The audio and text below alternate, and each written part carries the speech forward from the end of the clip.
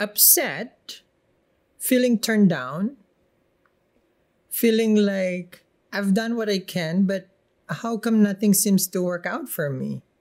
Looking at the Three of Cups that are empty. So this is uh, what they call being a, a pessimistic, right? A pessimist. But behind you, Aries, is a Two of Cups. You're upset because you still love the person. You're upset because you still have expectation. You're upset because you feel that there is a need for you to do more, but there's nothing more for you to give because they always screw it up. You're upset because you felt like this was a soulmate. You you're upset for a lot of reason. But the main thing here is you still love your person because there's a two of cups behind you. Mm-hmm. That's something significant with the five of cups. The bridge behind the five of cups over here. This is a when you go through so much with a person because there's a lot of hurdle in that river. So you went through all those things already with them and you still didn't get the result or the outcome or whatever you're expecting from this connection. Okay. That's the five cups right there. Okay. So um let's see uh what's going on here with the with the five cups. We're gonna go into your person's side and then the other person. Um, and then we're gonna do your astrology, of course. We're gonna do your sidereal, and then we're gonna do like we mentioned oracle. Okay, so um, let me shuffle this, and while I'm shuffling this, um, I'm gonna um, show to you guys. Um, if you are wondering about um, like trying to figure out, you know, connection, your spouse, the nature of the relationship, how it's gonna manifest. Um, I made a short clip for a free class. Um, this is this one. We're learning the nature of the relationship, who your spouse is gonna be, when are you gonna get married, how to see the when, the who. You have here what we call the Mahadasha. Say in the app, you click it and you look at Jupiter since Jupiter is the karka for the spouse. November 8, 2021 to December 2023. If this is your ascendant, this is your first house, then this timing for relationship is coming. The Mahadasha is the timing for each of the planet in total. So we're gonna be looking also at your D9 or your Navamsha chart, which also shows the relationship chart, the marriage chart. Very, very important for people who's looking for relationship, trying to get into a commitment. Download the two apps that I recommend, step one and step two, in the description box below. When you sign up to our class, you'll be getting a notification to get all the secrets on how to predict. Okay, so those are free classes. So once you download the app, we'll be sending you guys the free classes this coming week. Mm -hmm.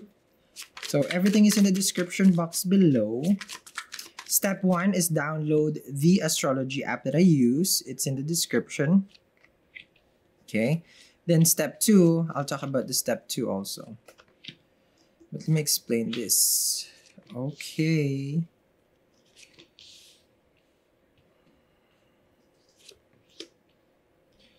Let me explain how it works for people who's new. Um, this is the tarot. You don't need your chart on this one. This is a form of divination. It is a set of cards. It picks up as long as you're in front. So you have nothing to worry there. Once I start doing astrology, I do sidereal, Vedic astrology. So your placements would be different because we follow different calculation. Okay, but you don't need to get lost. If you don't know your birth chart, you can get your birth chart for free. That way you know your ascendant and moon sign. Because when I start the astrology, it's going to be based on ascendant and moon sign. This one, it picks up you. Okay? So you have nothing to worry. You don't need, some people don't know their your their time and place of birth. Mm, okay? So let's go here. You're in the Knight of Pentacles with the Five of uh, with the Seven of Cups. Okay. Um, the way I see this is you want to reach out. Knight of Pentacles with the Seven of Cups. It's like you're confused. You don't know whether should I reach out. Knight of Pentacles with the Seven of Cups. You're not sure where it's going. Okay. Death card over here with the Five of Cups. Um, this is showing that in this situation, you feel the need to connect with them, Five of Cups, And then, because there's something good about this with the star card, okay? Like you feel the need, you don't know if if there's hope, but you feel a little confused. Seven of Cups over here, and then you have the hmm. It feels like you have these mixed feelings about getting in touch with them because you see all these sign symbols and synchronicity, number wise, music, the food. You you feel like I think they're trying to connect with me. I think you know there's a message from the divine. This is what you're feeling right now. But you're too upset, right, with the five of cups.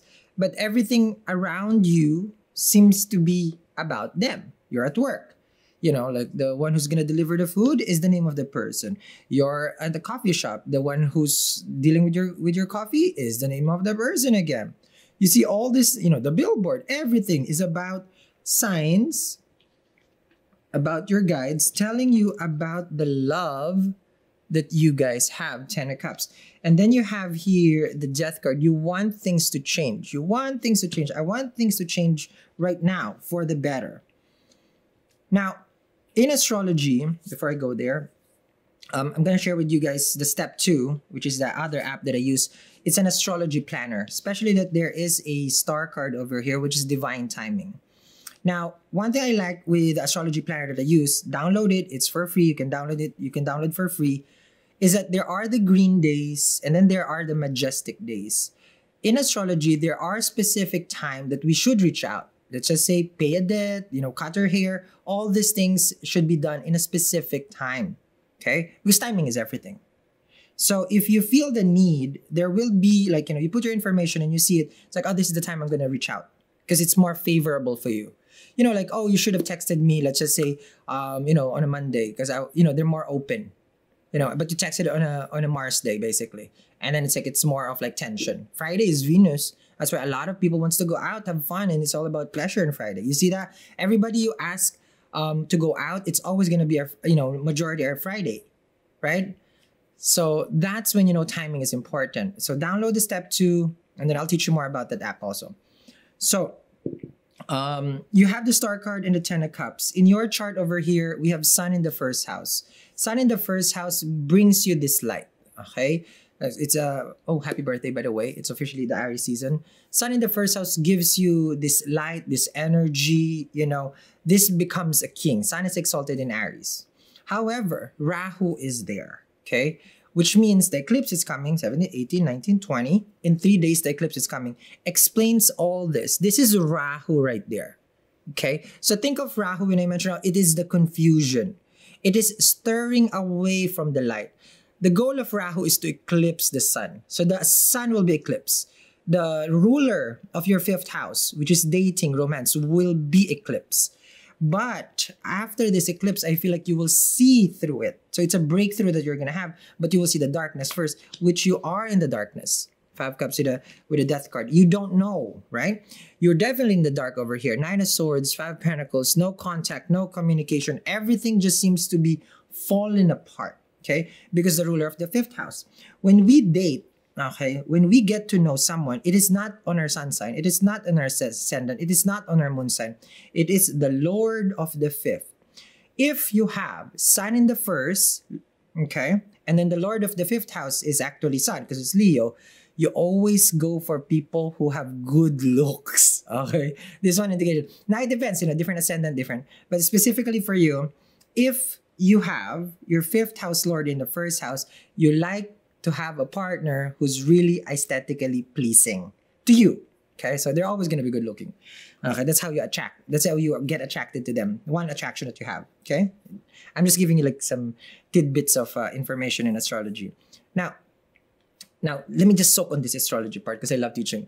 Now, two people that are famous that has sun in the first house is uh, Elon Musk and Brad Pitt. Okay, so those two, those two alone, like we know they're famous, we know they get they have wealth, they're kingly. That's what Sun does in the first house. It is also the karka for the first house. So we want Sun in the first, and we want Sun in the ninth. Ninth house is better, and then um, ten uh, first house is good. But it is also, of course, Sun in the tenth house is also for fame and success. So look where your Sun is. Okay, in the app you will see it. Now, you have the Nine of Swords, the Five of Pentacles, and the Seven of Swords. Your person has been in and out, inconsistent, okay? Six of Pentacles to the Five of they'll reach out, you know, after a long time of no contact, no communication. Mercury goes retrograde, okay? In your first house. When Sun and Mercury is in the first house, we call this a Buddha Aditya Yoga, okay? So this one, if there's malefic effects, it nullifies it. Okay? So when two are in the first house. Conjunct is different, you know, but with Rahu is there, so there's a different different spice again. So your person, lovers, and the seven of swords, I feel like your person has been, okay, avoiding you.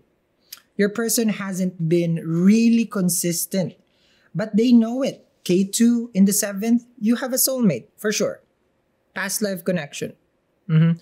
That makes it really confusing to understand because there's a lot of drama with this kind of connection. Now, the drama is actually trauma, but how it is coming out is more on the drama, the toxic part.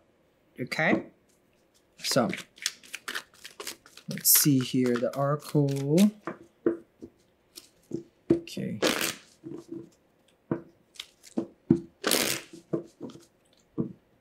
And then I'll share at the end of the video also um our what do I want to share at the end of the video? I don't know yet. Let me think. Okay. Now the classes is in the description, guys. Okay. A leg up. So for you, you want help. Okay. For you, you're saying it's like I need help. I can't do this by myself. And that's how you feel, right? Five cups with the leg up. That's how you feel. Yeah. It's like, I need help. I feel alone. I feel like it's only just me figuring things out. And every time I ask help from them, Six of Pentacles, of course, is a breadcrumbs. Okay? Now, your Lagna Lord, which is Mars, is in Gemini. We love Mars in the third house, but not in Gemini.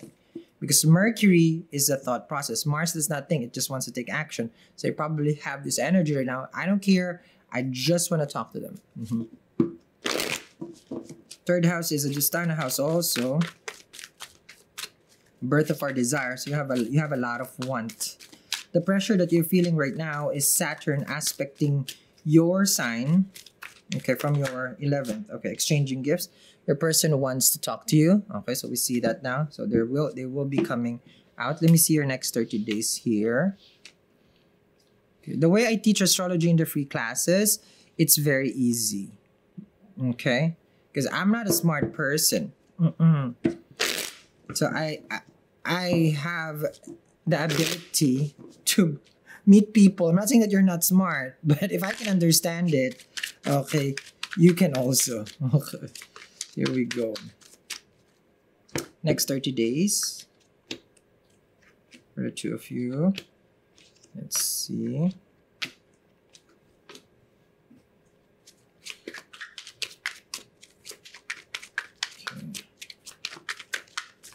Best course of action. Okay.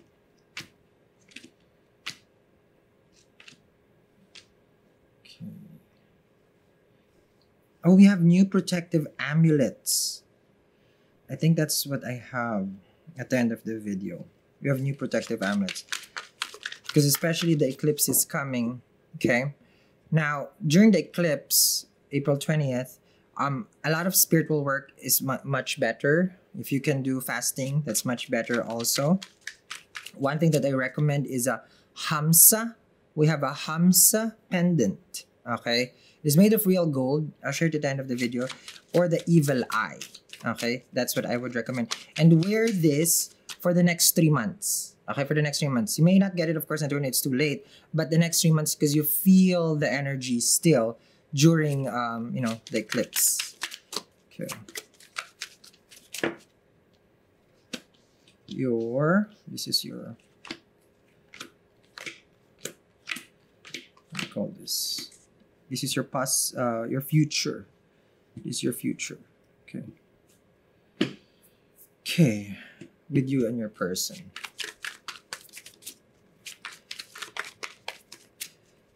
Now, since Jupiter is going to your zodiac also in like four more days, 18, 19, 22, I think four more days, okay? Hmm, Jupiter is coming to Aries. This will give you good health, a lot of luck also. When Jupiter is in the first house, we call this a Hamsa Yoga, okay? Which uh, gives a person a lot of opportunities and luck, okay? I'll talk more about that.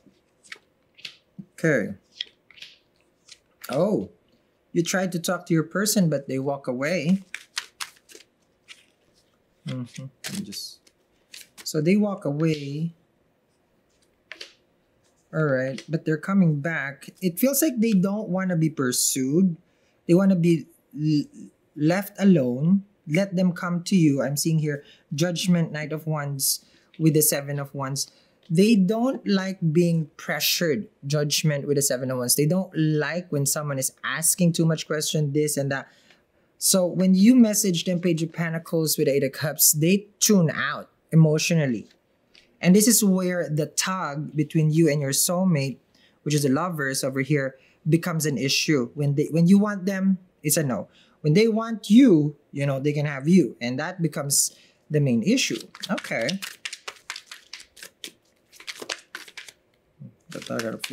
So let's see what's their next action with the judgment because this is about to take out everything that is toxic in this relationship and move forward. Let's see what that is.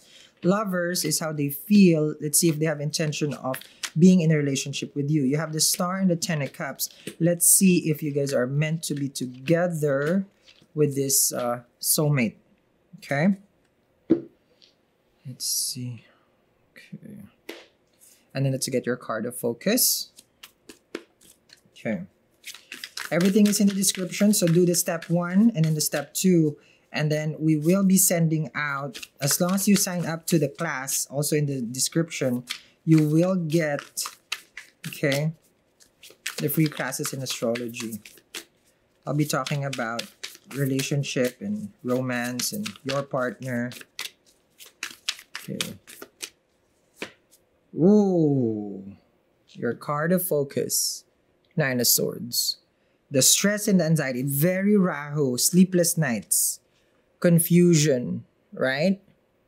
So your focus here, Aries, is the uncertainty in this relationship is building up so much okay like it's one thing after the other and there's never a, you know there's never a clear day coming from your person but i'm seeing here that they're about to take action with a judgment to clear the air. So let's see what that is. Find out. Link in the description box below for the extended reading.